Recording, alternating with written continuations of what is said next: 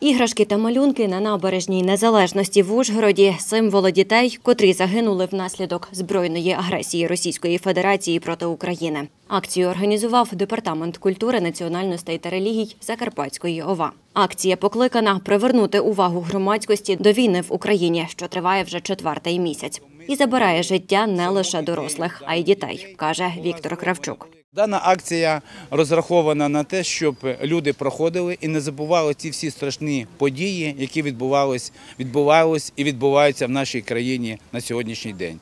Дана акція, інсталяція цього всього робиться, щоб люди усвідомлювали, що війна це страшно, що все ж таки повинен мир наступити і щоб все було добре. До організації акції долучилися музеї, бібліотеки, центр культури, заклади, у яких нині багато часу проводять діти. І тутешні, і ті, котрі тікали від війни. Вони готували малюнки, на яких відображали своє прагнення миру. Діти не повинні гинути, діти повинні жити, радуватися. Це є наше майбутнє. Це ангелики, які, які повинні радуватися життю. На жаль, вони загинули.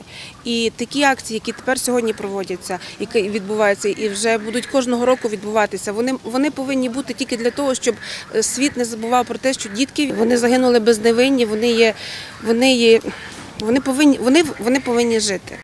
Верховна Рада України прийняла постанову, за якою 4 червня день вшанування пам'яті дітей, які загинули внаслідок збройної агресії Росії проти України. Пам'ятний день запроваджено торік. Ушановують пам'ять дітей, які загинули внаслідок війни, починаючи з 2014 року.